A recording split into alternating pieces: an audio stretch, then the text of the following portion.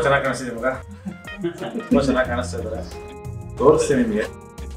ಒಂದು ತಂಡ ಬಂದಿದೆ. ವೆರಿ ಟ್ಯಾಲೆಂಟೆಡ್ ಟೀಮ್ ಎಲ್ಲ ಲವರ್ಸ್ಗಳಿಗೂ ಒಂದು ಒಳ್ಳೆ ಸುದ್ದಿ. ಏನು ಅಂತಂದ್ರೆ ಬ್ರೇಕಪ್ ಆದ್ಮೇಲೆ ಏನು ಏನಾಗ್ಬೋದು ಅಂತ ಹೇಳೋದಕ್ಕೆ ಒಂದು ಒಳ್ಳೆ ಸಿನಿಮಾ ಬರ್ತಿದೆ. ಆ ಸಿನಿಮಾ ಹೆಸರು ಆಫ್ಟರ್ ಬ್ರೇಕಪ್ ಅಂತ.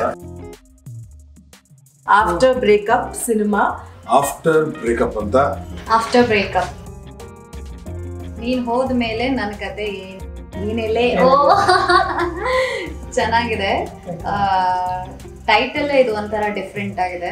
ಟೈಟಲ್ ಅಲ್ಲೇ ಗೊತ್ತಾಗ್ತದೆ ಲವ್ ಸ್ಟೋರಿ ಇರ್ಬೋದು ಅಂತ. ಎಣ್ಣೆ ಹೊಡಿಬೇಕಾ ಎಣ್ಣೆ ಬಿಡ್ಬೇಕಾ ಅಂತ ಇರೋದು ಅರ್ಥ ಅಂತ ಅನಿಸ್ತಾ ಇದೆ.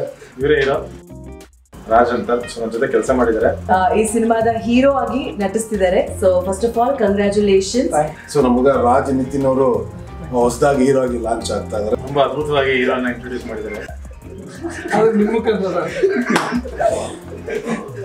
ಇದು poster actually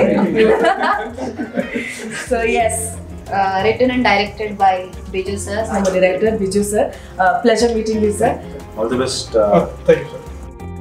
Biju ಅವರು ಡೈರೆಕ್ಷನ್ ಮಾಡಿದ್ದಾರೆ.